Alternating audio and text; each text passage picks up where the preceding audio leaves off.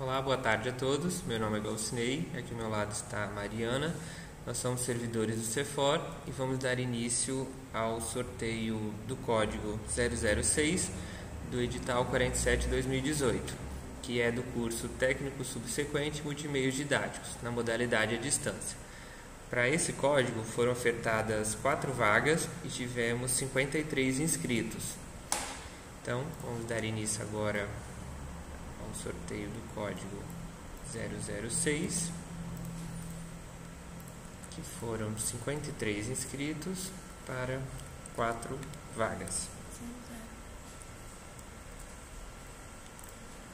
Então, essa é a lista dos classificados e abaixo a lista de suplentes. No final da página foi gerada uma semente que pode ser utilizada para fins de auditoria. Então, às 14h33, damos por encerrado o sorteio.